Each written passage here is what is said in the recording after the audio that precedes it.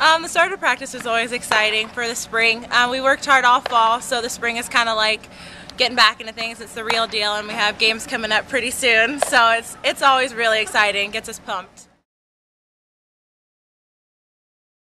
Expectations for the season. Um, we play some pretty good teams right off the gate, so we're hoping to you know hang tough in those games, and we want to compete hard for the Big Ten tournament and hopefully bring a title. Um, individually, we all set particular goals for ourselves, and but we all do have huge team goals that we keep each other accountable for. Um, individually, I just kind of want to enjoy each game. I think that's Okay. my main goal this year.